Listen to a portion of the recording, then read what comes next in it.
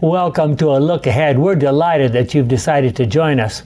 We study the Sabbath school lessons as prepared by the Seventh day Adventist Church. And this particular series is entitled The Promise that is, God's everlasting covenant. And we're going to find out that there are different covenants that have been talked about down through the years. We're going to talk about some aspects of each of those covenants. This particular lesson focuses on all future generations in quotation marks.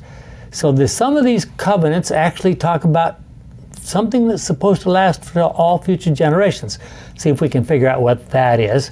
This is the lesson number three in that series for April 17 of 2021. As usual, we'd like to begin with a word of prayer. Our kind and loving Father, we are delighted to see how you related to those people, those relatively rare people in ancient times who remained very committed and faithful to you. We think of Noah, we think of Abraham, and others, Moses, as we talk about each of them. Now help us to understand how some of these covenants will apply to all future generations, is our prayer in Jesus' name. Amen. Okay, well, we know, I don't have to tell any of you, that things deteriorated pretty rapidly from the Garden of Eden to the flood. And how did that happen, Jim? Bacteria are organisms too small to see without a microscope. Even after being magnified 1,000 times, a single, common round bacterium appears no larger than a pencil point. Given favorable conditions for growth sufficient warmth, moisture, and food, bacteria multiply at an extremely rapid rate. For example, some bacteria produce by simple fission. A mature cell simply splits into two daughter cells. When fission takes place every hour, one bacterium can produce more than 16 million new bacteria in 24 hours. At the end of 48 hours, hundreds of billions of bacteria will have appeared. This, microspo- this microscopic phenomenon in the natural world illustrates the rapid growth of evil after the fall. Gifted with giant intellects, robust health, and longevity, this viral race forsook God and prostituted their rare powers in the pursuit of iniquity in all forms.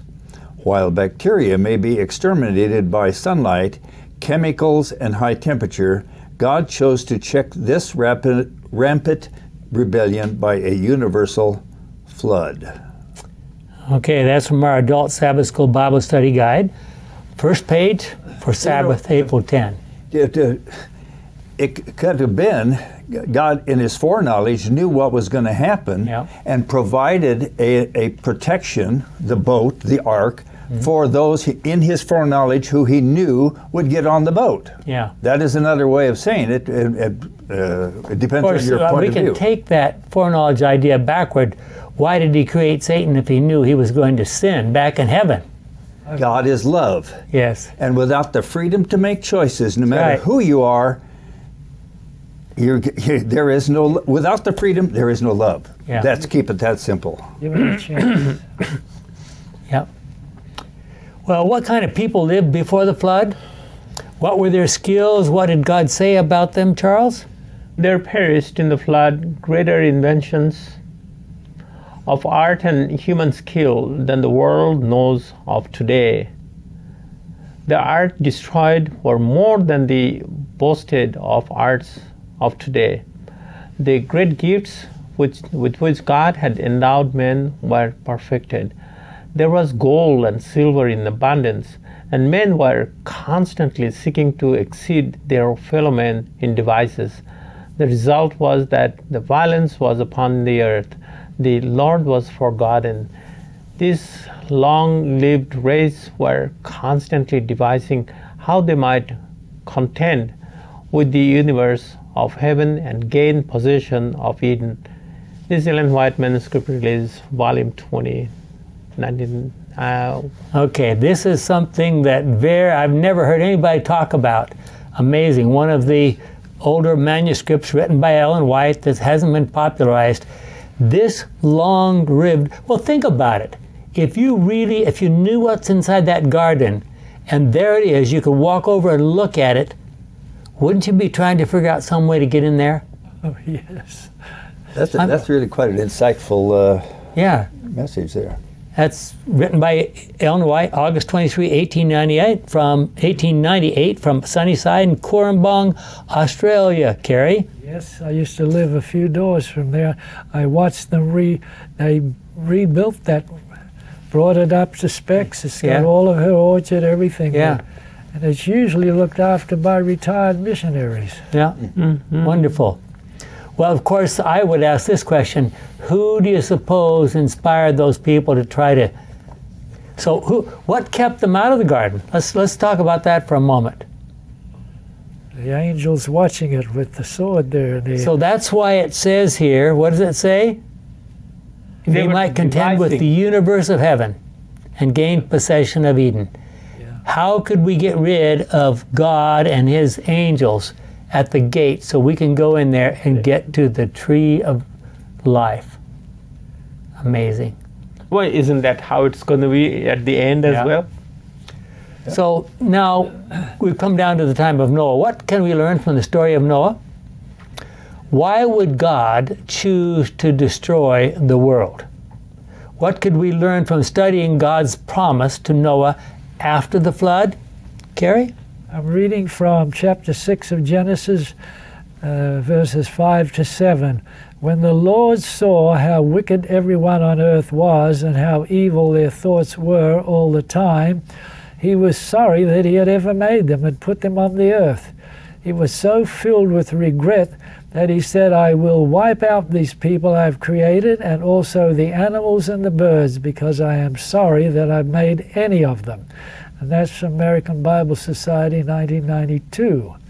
Okay, now, considering God's foreknowledge, would it be correct to say that he was sorry that he made them at the point when he made them? No. He knew that what was going to happen. I, I, see, I don't limit God's foreknowledge. Yeah. I don't think God is learning No. on the job. I don't No. Yeah. subscribe to process theology, which uh, many people do.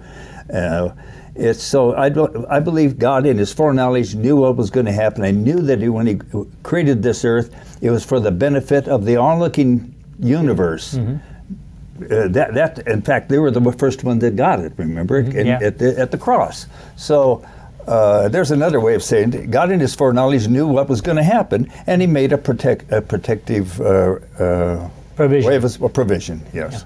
So we're not dealing with predestination, No. Calvin, Calvin theology, but well, we are also. I, to me, that he has the foreknowledge, but he's not a micromanager. Exactly. No. Yeah. Well, uh, it's among other things, but he, Right. no, because God is love, and it's very. It's got to be. The theology should be far more simpler, far simpler than most people, um, religions have mystified it into being. That's my take on what I've learned over the years. So we ask, how could a God, and I want you to think about this out, out there, you try to figure it out for yourself. How could a God with foreknowledge be sorry that he made all the creatures on the earth? Is that, is that, is that a, something wrong with that? The truth about freedom and sin had to be fully demonstrated. In the great controversy, God has to prove his fairness and demonstrate the results of his plans and the results of Satan's plans. God was sorry to have to do this even before he created Satan. He knew what was going to happen, but he, he said, in order to, I have to maintain freedom, as Jim has suggested. Without freedom, you cannot have love. And God is love. He can't run a government that's not based on love. So this was absolutely, it was essential for the very character, because of the very character of God. I But- would, go ahead. Go ahead. Is it perhaps uh, uh, right to say God created Lucifer versus God created Satan? That's right? correct, yeah. Uh, it's. I think it's very important very important, very- for yeah, like people all over the world hearing. You know, no, God created Lucifer. Yeah, And beautiful name. Yeah, Beautiful name. yeah. So God had to take action in the days of Noah quickly because truth was rapidly losing its hold on the world. When the flood came, God had only one man and his family were willing to get into or on the ark. If God had waited for another generation or so, there would have been no one paying any attention to God at all. If we all try to remember that this earth was to created to educate the, the other heavenly intelligences that were that were here. Remember in Revelation 12, yeah. the dragon's tail swept down a third of the stars of heaven. A third of the uh, implies that a third of them left left heaven, but they still had two thirds that needed to be educated, mm-hmm. and maybe he'd win a couple, some of those others back. So. I think it's well from God's original date of creation, when everything was pro- proclaimed very good. Look at what happened to the world transgression and rebellion had become so widespread that even God, loving, compassionate, and forgiving as He is, could not allow it to continue. Why did things get, go so bad so quickly? Genesis 3 6. The woman saw how beautiful the tree was and how good its fruit would be to eat, and she thought how wonderful it would be to become wise. So she took some of the fruit and ate it. Then she gave some to her husband, and he also ate it from my Good News Bible. A few verses later, Genesis 3 11 to 13. Who told you that you were naked? God asked. Did you eat the fruit that I told you not to eat? The man answered, The woman you put here with me gave me the fruit, and I ate. The Lord asked, Lord God asked the woman, Why did you do this? She replied, The snake tricked me into eating it. And then Genesis 4 5, but he, that is God, re- rejected Cain and his offering. Cain became furious and he scowled in anger. So, three verses later, then Cain said to his brother Abel, Let's go out in the fields. When they were out in the fields, Cain turned on his brother and killed him.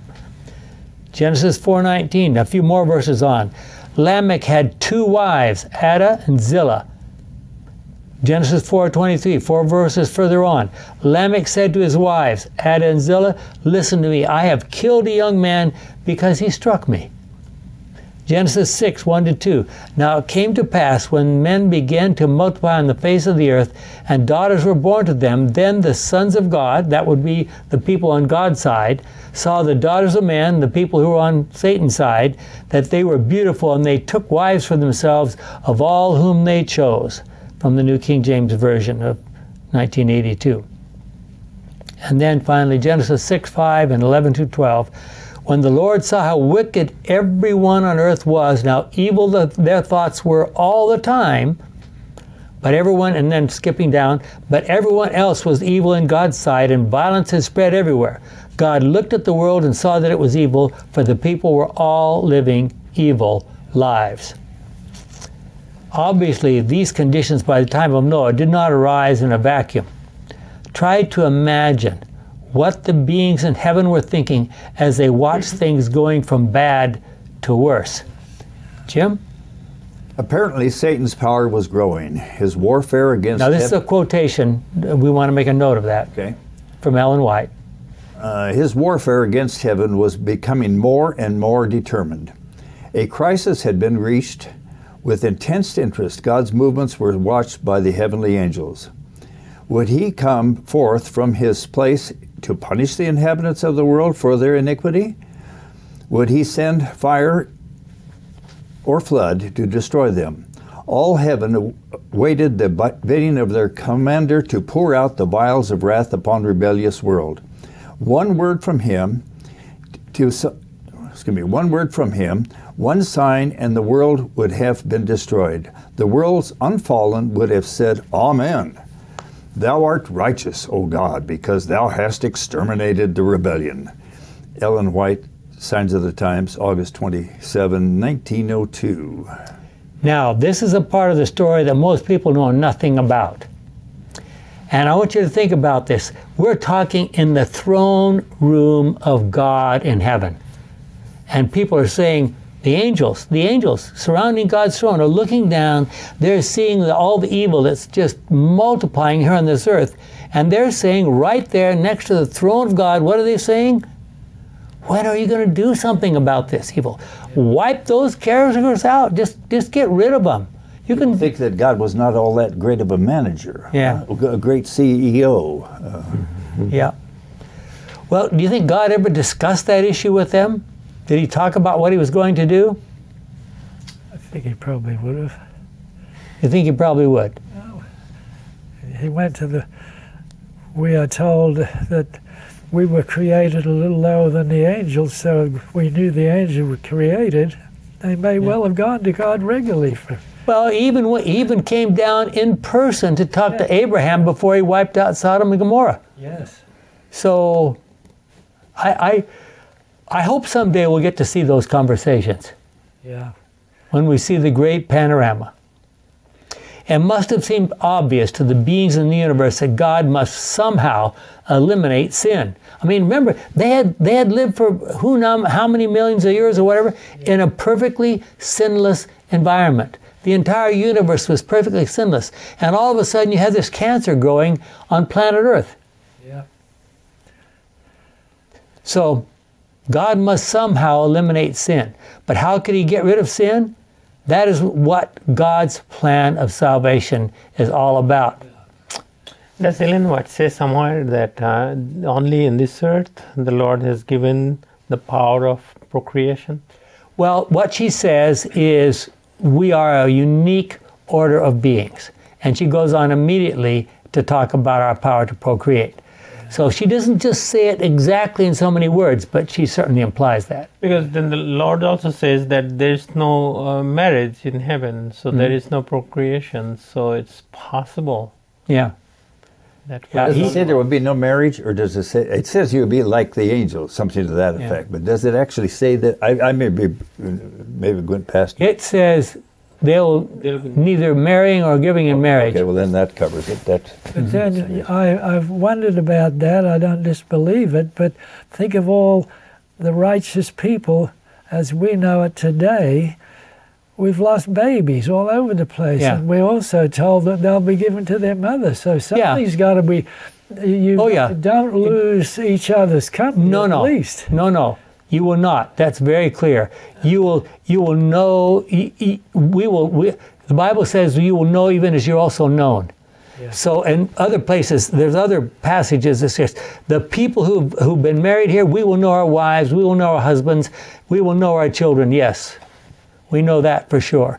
Whether there'll be any new ones, that's an well. I I personally am very strongly of the opinion that when this whole sin thing is completely gone and there's no Satan is gone, so there's no chance for him uh, invading a new planet, Yeah, God will go back to creating. could be. I mean that seems sen- makes sense to me. but they're still Yes. going to be free. They're still going to be free. So that's uh, it- it- there's somehow somebody's going to have to do some educating, or Yeah. if you're still free. well, and uh, the marks will never be gone. go away. Yeah, but I don't think there'll be a second time around. intelligent I- creatures. That's- that's well, what the Bible we- says. in Revelation, a couple of places says there'll be no more death. That's that's the main thing that we have Yeah. to, to, Yes. to But I, I think there's, I think there's a simple answer to that, in my opinion. I think if if anybody a billion years from now Oh, decides to rebel, God will say, "Okay, you stand right here. Uh, uh, we're gonna we're gonna gather all those people who lived through the sin experience. Stand around here. This person wants to start sin all over again. He wants to rebel. What do you think I should do?" And we will just take one look at him and say, "Step back. You are the only source of life. Yeah. Just leave him alone." And he will perish right there, and nobody will have any question about it because we know exactly why that would be necessary. Yeah, But then, how do we then? uh, Are going to redefine? That? I know we, we can go all all, all evening and shall stuff. not rise up the second That's right, yeah. Period. I think No, that's that's- important. Yeah. Right. And that doesn't remove your freedom. It just No. reinforces what we, we. will not want mm. to do that Yeah. anymore. No. Those marks will I'm talk- always be there. I'm talking about maybe if God creates a whole bunch of new people, maybe one of them might might try to rebel. Yeah.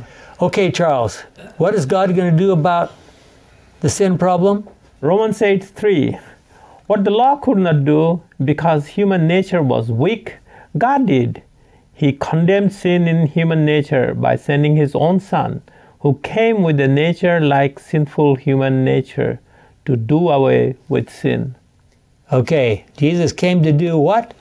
Away with Do sin. away with sin. But, Okay. but, but he did not come here to do away with the law. No, didn't say that. No, the that- law is that- dis- a description. It's not a proscription. It's not a an imposition. No. It's a it's a way to live. that is correct. So And- what what did God do to get rid of sin? God through Jesus Christ demonstrated not only the beauty and holiness of living according to God's plan, but also the results of being separated from God, the second death. Jesus is the only person so far in history, in the history of the universe, to die that second death. And we are supposed to watch, we're supposed to look, we're supposed to see, we're supposed to think about what happened there and say, do we, do we want to have that happen to us? Well, let's go back to Noah. Uh, Carrie? Yes. Uh, reading uh, from Genesis chapter 6, verse 9. Noah was a righteous man, blameless in his generation. Noah walked with God, and that came from the New Revised Standard Version, 1989. Okay, how do you suppose Noah remained a righteous man, blameless? How did he walk with God in that vile and rebellious environment? Did he try to stay away from other people? Did any of them want to get rid of him? I mean, think of the story of Cain. Yeah. That's not a whole lot different than Job's experience. No. Except for the fact that Job had some friends that uh, sounded very pious. No, but for 120 years, this crazy man Yeah. building this boat. Now he was given the dimensions. You see, but how did he know the buoyancy? That they, they never had water, a Yeah. body of water, you know. So, and then he preaches about, hey, live righteously. Come Yeah. to think, Yeah. he has spoken to these I- people. I think Noah wa- went both ways because it says he was a preacher of righteousness, Yeah. so he had to have moved around. Uh, some. he had to. He had to speak to these people. He had to. Well, and I think they mocked him. In 2 Peter 2 verse 5, Peter called Peter calls Noah a preacher of righteousness. Did Noah's preaching irritate his sinful peers or did they just come around and just watch him that was part of the entertainment? Well, Genesis 6 8 says, But God found grace, I'm sorry, but Noah found grace in the eyes of the Lord. Right. New King James Version. So, what is grace? This is the first occurrence of this word anywhere in the Bible. Did Noah, who was a blameless, righteous, and walking with God, need grace? Let us never forget that Noah, like the rest of us, was also a sinner. Yes. So, how would the Bible writers, even God Himself, describe your life? Would you be described as righteous, blameless, walking with God? What might a righteous, blameless walk with God look like in today's world? Genesis 6:18 But I will establish my covenant with you and you shall come into the ark you your sons your wife and your sons wives with you New Revised Standard Version Well, look carefully at this verse. Here we have the basics of the biblical covenant that God makes with all humanity. God simply enters into a covenant agreement with us, but there is more to this covenant that first meets the eye. Notice first, obedience is involved. What were they supposed to do? Listen Get on the boat. Yeah, listen. what I'm talking about it, Yeah. obedience is it Yeah. really is it, it's, it's Listening. listening Yeah. it's, uh, Yeah. In order to participate in the blessings, they had to get on the boat. Notice also that God calls it my covenant. What does that tell us about the covenant? Even though our behavior is required, God is the one who makes the promises. Okay, compare Exodus 19:8. Charles, you want to get that for us? Exodus. And uh, we're at, let's see, Number 18. number 18. Then all the people answered together, We will do everything that the Lord has said. And Moses reported this to the Lord. Good News Bible. And if you turn to Exodus 24, verses 3 and 7, it was repeated twice. So three times they said, Everything that the Lord says we will do. And that was before and after the giving of the Ten Commandments on Mount Sinai and all the other rules. No problem, God will just do it, right? Even though that declaration, yes, was accompanied by the giving of the Ten Commandments and that marvelous manifestation on the top of Mount Sinai, less than six weeks later, they were dancing drunk and naked around a fertility cult symbol that they had coerced Aaron into making for them. Clearly, our promises to obey God amount to nothing compared to God's promises to us. If we, before we go any further, Yeah. um, I think that to me the first covenant the Lord the Lord had made was in the Garden of Eden. Yeah. Genesis three fifteen. Maybe you could. Yeah. No, exactly. Imparted and imputed righteousness is a covenant that started right after sin entered Yeah. this world. Well, the really promise, the real promise in Genesis 3:15, not spelled out in any detail, but was God said, "There's a serious problem here, but I will take care of it. I myself will take care of it." Well, Isaiah 53:11, what do we have here? Does God get get any benefit from this covenant? Only the chance to bring a few of us up to heaven to live with Him forever. Okay, Carrie?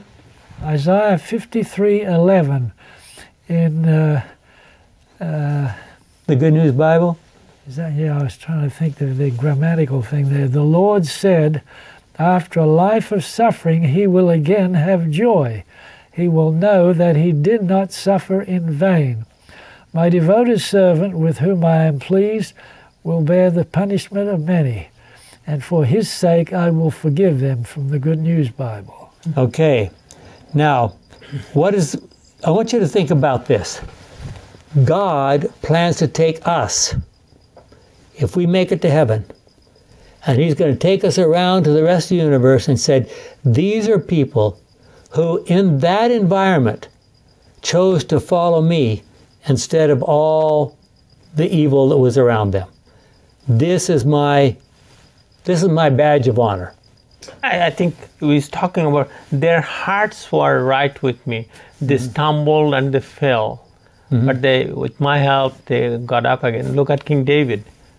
yes Now, there are many Christians who believe that the, the key to salvation is that God just forgives sinners. Everyone is forgiven by God. Amen. God is willing to forgive everyone. And where's the evidence for that? Luke 23 34. Jesus said, Forgive them, Father. They don't know what they're doing. And he said this as they are nailing him to the cross. Mm. Forgive them, Father. They don't know what they're doing. Many Christians believe that the Father was a stern, unforgiving judge, and that if it were not for the constant pleading of Jesus on our behalf, we would all be lost. That totally unbiblical view is pagan and satanic. Forgive me for saying that. You know what John 3:16 says, God so loved the world, right? Well, here's one that gives a little more detail to that. John 16 verses 25 to 27. I, that was Jesus, Jesus was the one speaking, have used figures of speech to tell you these things. But the time will come when I will not use figures of speech, but will speak to you plainly about the Father. Now here's the Son of God, himself divine, appearing on the human on this world as a human being, speaking to his closest group of, of friends that are gathered around that table the night before his, he was arrested and tried. Okay, there he is. And he says, Let me tell you plainly about the Father. Now, wouldn't that be an important thing for us to know? Yeah. Plainly about the Father. When that day comes, you will ask him in my name, and I do not say, I do not say that I will ask him on your behalf. Why not? Why is it not necessary for God to, for Jesus to plead on our behalf? He already knows. For the Father himself loves you. He loves you because you love me and have believed that I came from God. What happened to all that pleading? The Father loves us just as much as Jesus does. That's what that's the Bible's message. That may not be Christianity's or some forms of Christianity message, but that's the Bible's message. So when Thomas says, "Show us the Father," he says, He who has seen me has seen the Father. This Right. is it. This Yeah. is, you're seeing the Father in me. Mm. Think of it like this someone falls overboard from a boat in the middle of a storm. Another person grabs a life preserver, and of course, they have ro- ropes connected to them, and throws it out to him, and then hauls him back into the boat. The one who really has to work is the one who throws the life preserver. But the one who is rescued must hang on to the life preserver. What can that teach us about God's grace and our response? And what happened about the after the flood? What can we learn from the story of the rainbow? Genesis 9, 12, and 13. God said, This is a sign of the covenant that I make between, excuse me, that I make between me and you, every living creature that is with you, for all future generations. Okay, I want to stop and interrupt there for just a second. We're talking about which of these covenants are for all future generations? Here, right here. For all future gen- That's the title of our lesson this, this time. Oh. Okay. I have set my bow in the clouds, and it shall be a sign of the covenant between me and the earth. New Revised Standard. Okay. So every time you step outside and it's raining and you look up and you see a rainbow, you know what? God's covenant is still good. The God's covenant is still good. There are not many natural phenomenon, phenomena that are as colorful as a rainbow. In some places where the rain is fairly heavy and the sun is bright, I used to live out right just a short distance from the equator, uh, in both in Kenya for a while and in Tanzania for a while, and they have some very heavy rainstorms there. You can actually see a double rainbow, beautiful. I've actually seen a triple rainbow. They're so beautiful that many groups have taken the rainbow as a symbol for their organizations. So, what was God's original plan with the rainbow? Genesis 9 12 through 17, God said, As a sign of their everlasting covenant, which I am making with you and with all living beings, I am putting my bow in the clouds. It will be the sign of my covenant with the world. Whenever I cover the sky with clouds and the rainbow appears, I will remember my promise to you and to all the animals that a flood will never again destroy all living beings. When the rainbow appears in the clouds, I will see it and remember the everlasting covenant between me and all living beings on the earth. This is the sign of the promise which I am making to all living beings. Good News Bible. Okay, is this God saying, Oh, I almost forgot. I promised I wouldn't destroy them with a flood. Phew. It's a good thing I saw the rainbow. One No. thing I wondered, did Oh, that- no. does that mean there was no light refraction until that came in? No, there just wasn't any rain. There was no clouds. There were no clouds. There was no rain. Everything was everything was watered from moisture that came up from under the ground. So this is this is the very first time there was any rain. And so you can imagine if people knew the story of the flood, and the first time it started rain was this, the, you know, the whole heavens just collapse. The next time it rains, what are you going to be doing? You're going to be running for the hills, right? Yes. God says, no, just look up. The rainbow's there. I promised. You don't need to worry. But the rainbow is very different from a normal covenant. We do not have to do anything to benefit from the rainbow except to look. Of course, if we ta- take advantage of God's promise given to us with the, with the rainbow, then God does the saving. But the rainbow itself is given to every living creature of all flesh for all future generations. That's what it said. We just read that. From this, we can learn that God's forgiveness is like that as well. We are all forgiven, but we do not all realize it. And we certainly do not, do not all take advantage of God's offer. By giving the rainbow, God has pronounced never to, has promised, I'm sorry, never to destroy the whole world with a flood. This, that is one serious problem that we can stop worrying about. What else could, should we learn from the rainbow? What are we told about the conclusions to the flood? Terry, I think that's yours. read from Genesis chapter 7, verse 23. He blotted out every living thing that was upon the face of the ground, man and animals and creeping things and birds of the air. They were blotted out from the earth. Only Noah was left, and those that were with him in the ark. And that comes from the Revised Standard Version. Okay, now when we say something was left, what do we call that? Remnant. A remnant. Okay, you want to read this another version, the New King James Version, same verse, Carrie? Yes. So he destroyed all living things which were on the face of the ground, both man and cattle, creeping thing and bird of the air. They were destroyed from the earth. Only Noah and those who were with him in the ark remained alive. And that's from the Okay. New King James Version. So now what have we done? We have linked the idea of God's covenant with a remnant, Yes. right? Yeah. Notice for the first time God mentioned what might be called a remnant, those who were left or remained alive. Remnant is a key word in many passages of Scripture. All the way back from Genesis 45 7, Joseph said to his brothers, And God sent me before you to preserve for you a remnant on earth, and to keep alive for you many survivors.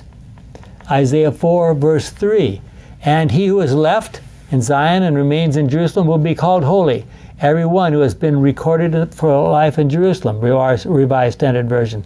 And then Isaiah 11, 11, In that day the Lord will extend his hand yet a second time to recover the remnant, which is left of his people. So, what is the relationship between remnant and covenant? God, in effect, became the judge for the entire world. Those who got on the boat were saved. Those who did not were lost. We need to remember, however, that this was not the final judgment of any of those people. That final judgment was to come thousands of years later in the pre Advent judgment, which is going on right now. There may have been some people who wanted to get on the boat but could not because they were prevented by others. That's, that's possible. We don't know. It's possible. But what we know is that it was Noah and his family that got on, went in. And so God promised that special relationship with Noah and his family, Genesis 6:18. Do any verses come to mind that would suggest that what happened in Noah's day might be similar to what will happen at the end of this world's history, Jim? Matthew 24:37, Jesus said, The coming of the Son of Man will be like what happened in the time of Noah. Revelation 12:17, The dragon was furious, and the woman and coming with the woman and went off to fight against the rest of her descendants. All those who obey God's commandments and are faithful to the truth revealed by Jesus. There we have another remnant, the rest of her descendants, right? Okay. To get a wonderful picture of many of the details of the flood and what happened before and after the flood, I would really encourage you to look at the book Patriarchs and Prophets and read from pages 90 to 110. Charles? The rainbow, a natural phenomenon, was fitting symbol of God's promise never to destroy the earth again by flood.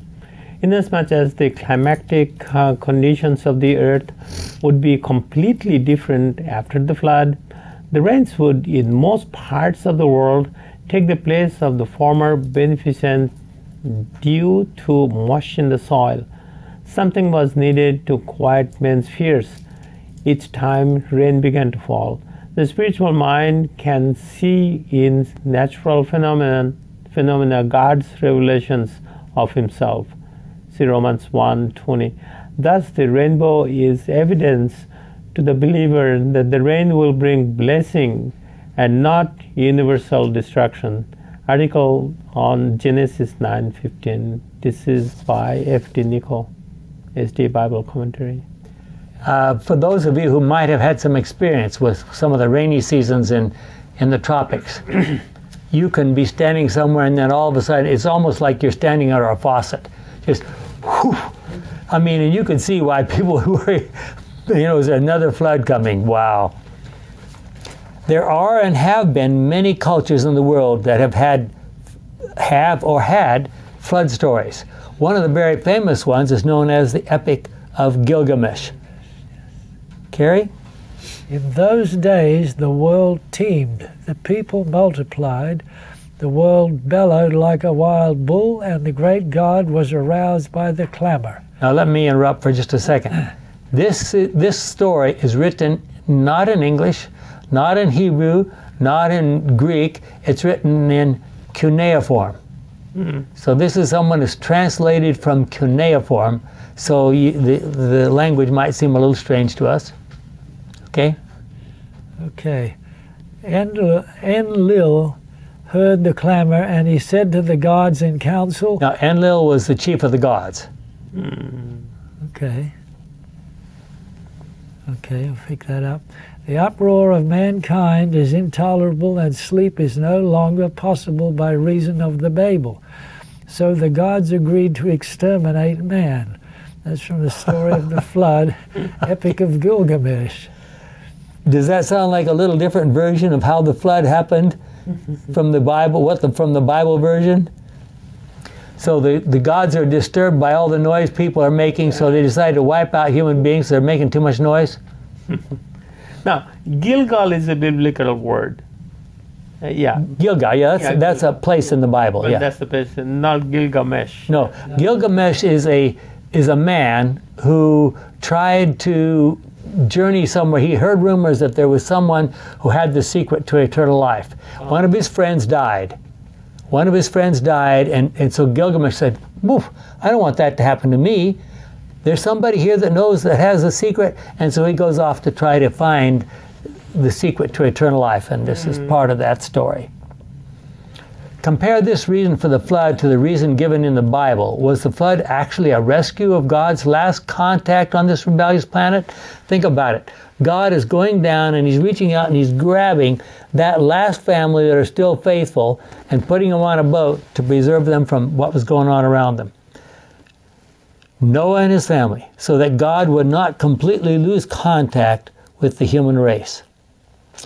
So, why are the truths of salvation generally unpopular?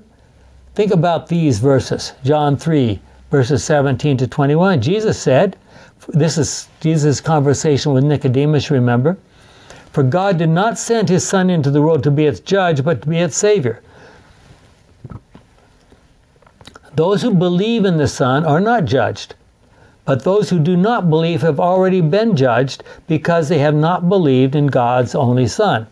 This is how the judgment works. The light has come into the world, but people love the darkness rather than the light. So, what's the problem here?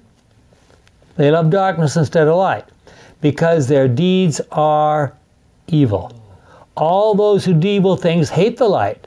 They will not come to the light because they do not want their evil deeds to be shown up. So, what happens if the, the, the, the light of the entire universe, God, shows up? What are they going to be doing? They're going to be crying for the rocks, rocks and the mountains to fall on them, right? But those who do what is true come to the light in order that the light may show that what they did was in obedience to God. And another parallel thing, could you go ahead and read those for us, Jim? John 7 here? John 7, verses 47 and 48. Did he fool you too? The Pharisees asked him. Have you ever known one of the authorities or one Pharisee to believe in him? John 12, 42 and 43. Even then, many of the Jewish authorities believed in Jesus, but because of the Pharisees, they did not talk about it openly, so as not to be expelled from the synagogue.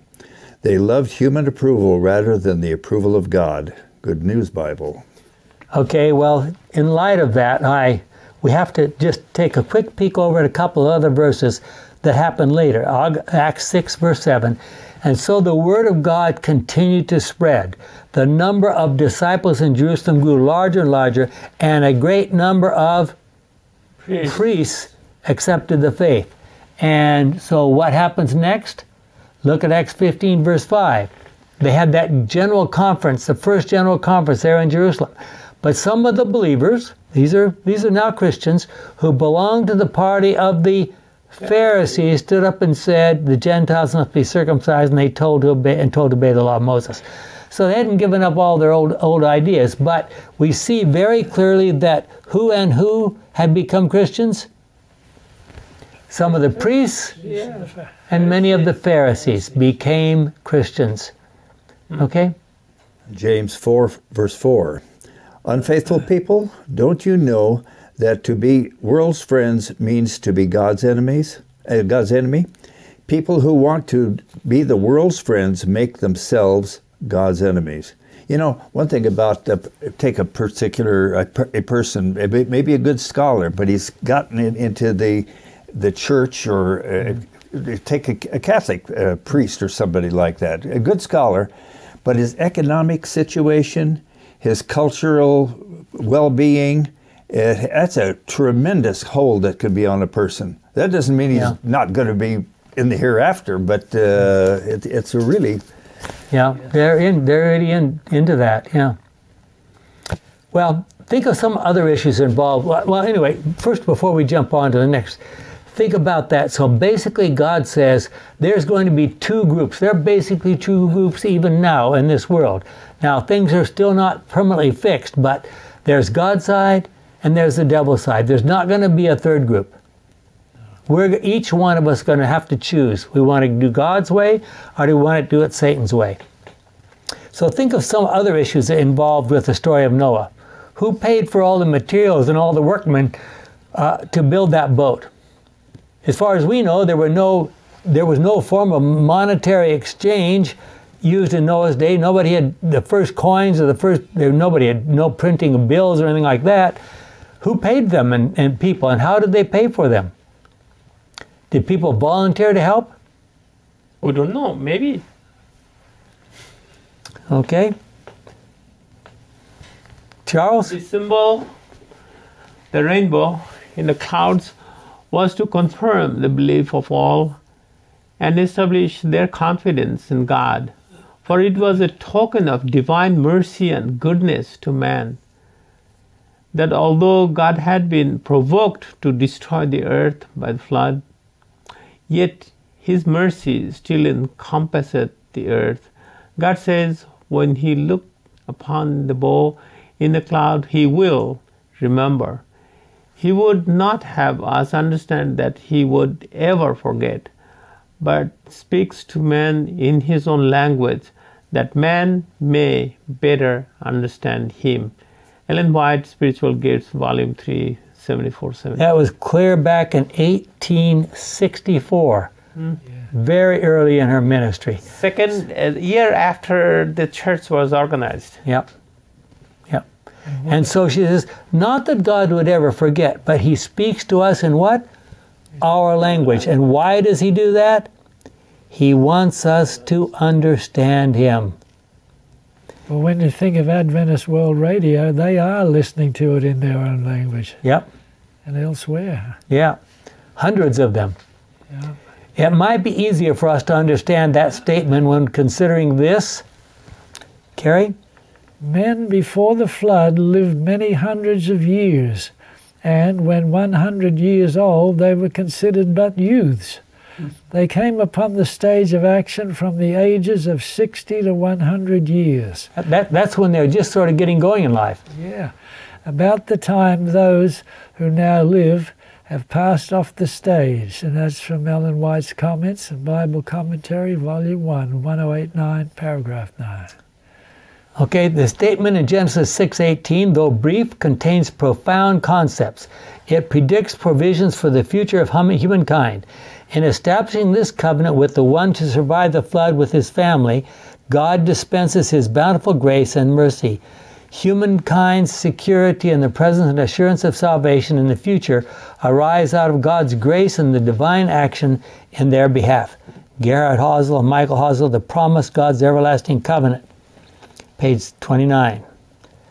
For those of us who understand something of how a rainbow is formed by the sun shining through the raindrops, uh, like a prism, it might be dismissed as a simple but beautiful phenomenon. But rainbows are mentioned elsewhere in very special places. Jim? Where else do we find rainbows talked about? Ezekiel 1, verses 26 to 28.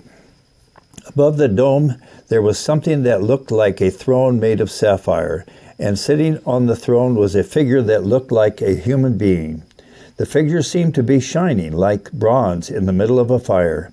It shone all over with a bright light and had in it all the colors of the rainbow. This was the dazzling light that shows the presence of the Lord. Good News Bible. Okay, now, so let's interpret that for, for all of us to, to agree on what we're saying. God's throne is surrounded by what? Colors of A the rainbow. yeah. God's throne is surrounded by a rainbow. Okay? Then a rainbow, shining with the glory from the throne of God, spans the heavens and seems to encircle each praying company. The angry multitudes are suddenly arrested. Their mocking cries die away. The objects of their murderous rage are forgotten. With fearful forebodings, they gaze upon the symbol of God's covenant and long to be shielded from its overpowering brightness. You know, that reminds you a little bit about uh, Isaiah 34 14. Yeah. They, who dwells in the everlasting burnings? It's the righteous. Yeah. Yeah, in God's presence. This, that was from Great Controversy 635 and 636. And that's talking about how God will preserve the righteous at, at the final end when everybody else is trying to. Satan is doing everything he possibly can to destroy God's faithful people.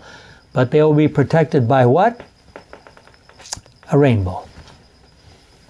Is it really true that Noah's family were the only ones saved in the ark? Why was only Noah left?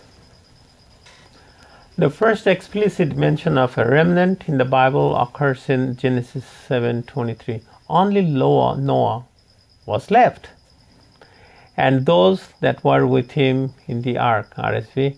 The word translated "was left" derives from the Hebrew root "sar," "sar," hmm.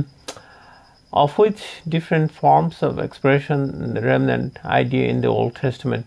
We cannot overlook the fact that the remnant who survived the first worldwide catastrophe were people of faith and trust. Because the Bible used the Noahic flood as a type of end time destruction, this observation has much significance. Gerhard F. F. Hasel and Michael G. Hasel, the promise of God's everlasting covenant. Okay? This does not mean, however, that there were uh, none righteous besides Noah. What, what, what else do we know? Carrie? Some of the carpenters he, Noah, employed in building the ark believed the message but died before the flood. Others of Noah's converts backslid. That comes from Ellen G. White, Review and the Herald, August 16, 1906. So it sounds like all the people actually worked on the boat, at least while they were working on the boat, were, were believers. And they had, yes. And did, did uh, Noah preach to them as well somewhere? I remember Yeah. learning that years Yeah. ago. Methuselah died few years before. One year. One year, huh? One Yeah. year before. One man's assertion against the wisdom of thousands. They would not credit the warning. Christ declares that there will exist similar unbelief concerning his second coming. When the luxury of the world becomes the luxury of the church, when the marriage bells are chiming and all are looking forward to many years of worldly prosperity, then suddenly as the lightning flashes will come the end of their bright visions and delusive hopes.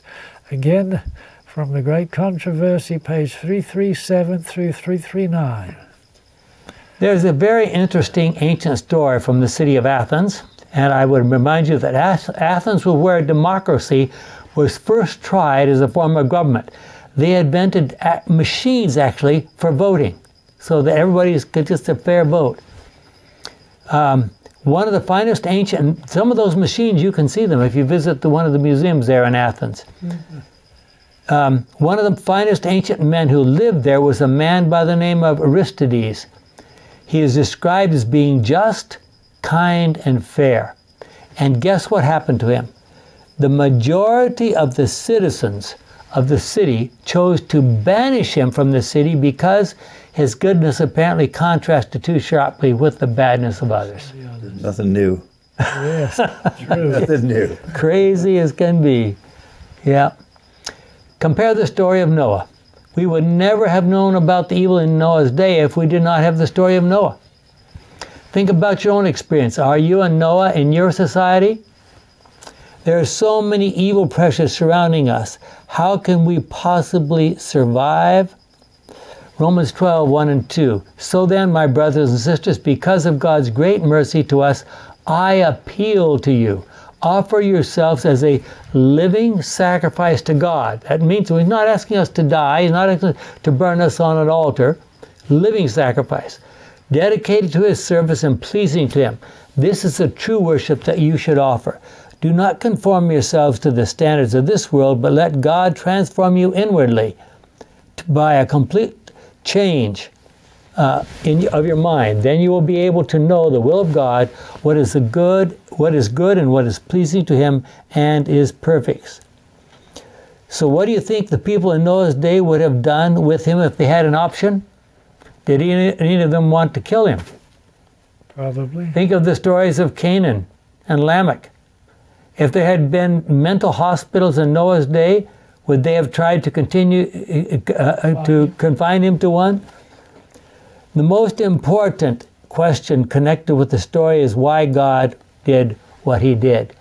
And we're, uh, I think we still have time. Genesis 6, verses 6 and 7. He was sorry that he had ever made them and put them on the earth. He was so filled with regret that he said, I will wipe out these people I have created, and also the animals and the birds, because I'm sorry that I made any of them. And I hope now from our discussion you've got some better ideas about why God did that. We believe that God has foreknowledge. Why did God, a God who has foreknowledge and knew in advance that all this was coming, allow it to happen? The truth about sin and its consequences needed to be demonstrated. The great controversy was already in full swing when the flood approached. Noah and his family were apparently the only ones finally left alive that were paying any attention to God. So, what does that teach us about our day?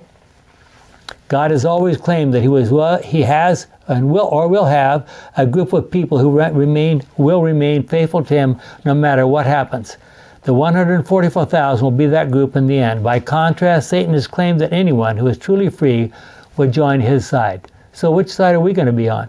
Some people are quite disturbed by the idea of a remnant. Does it, does it seem arrogant or prejudicial? Uh, if we know all that God has gone through to save us and our efforts at hanging on to the life preserver that God has provided, there is certainly no reason for being proud. Are we hanging on tightly? Are we so committed to God and His truth and liberty that we would never give it up? Our kind and wonderful Father, we thank you for the privilege we have of studying these things and learning these very important lessons about your covenants. Help us to be thankful for the blessing of having these promises you've made to us.